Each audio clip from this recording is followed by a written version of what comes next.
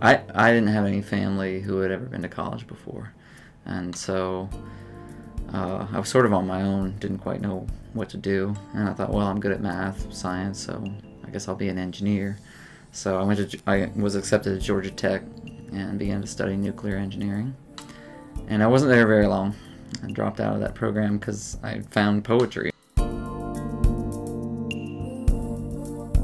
I'm like most poets in that I write a different poem on a different day because of whatever has happened to me in my life and whatever things that my daughter has said.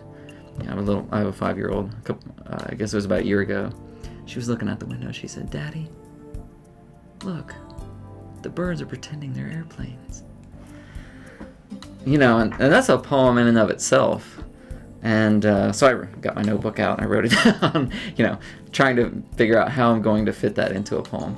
But I'm always listening to language and how people use it in interesting ways and how language offers a multiplicity of different things at once.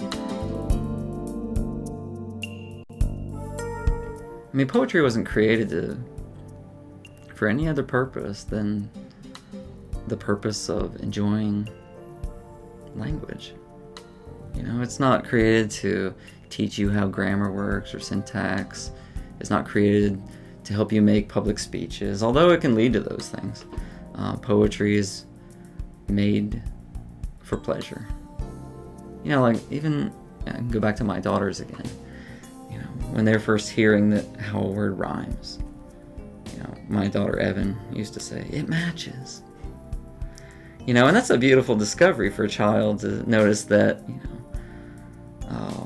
monkey rhymes with funky, you know, or shoe rhymes with uh, few or two.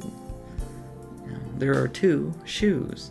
You know, um, there's something about the sonic quality, the repetition with difference that is rhyme, that is pleasing to us, and children discover that right away. And you know, if it's pleasing to us, then it can continue to be pleasing to us. But in different ways. We, as we grow up and mature, we complicate it. Instead of rhyming shoe with two, we'll rhyme shoe with Timbuktu. And hopefully generate even more complex rhymes than that. And create structures in which the rhyme comes at unexpected times, unexpected times, and um, an overall complexity within a poem that gives us the most pleasure. You know, I think a lot of people think that poetry is this thing that can't be taught. But there are a lot of aspects of the craft that you really can teach. Uh, and uh, I try to focus on those things.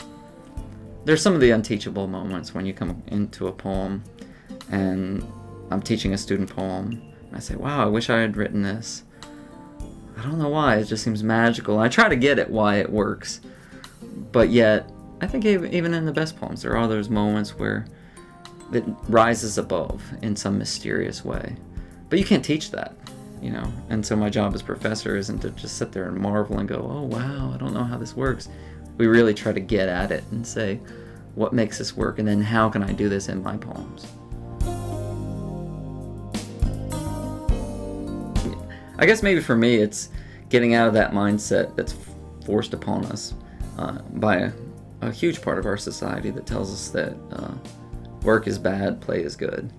You know, um, work should be a, a thing of value that's enjoyable. And so you work hard and then you enjoy your life more.